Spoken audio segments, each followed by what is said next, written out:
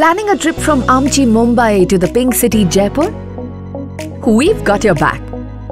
Simply download the Adani One app or visit adanione.com and choose from the multiple flight options to Jaipur International Airport. So, book your tickets now to explore this magical city and experience goodness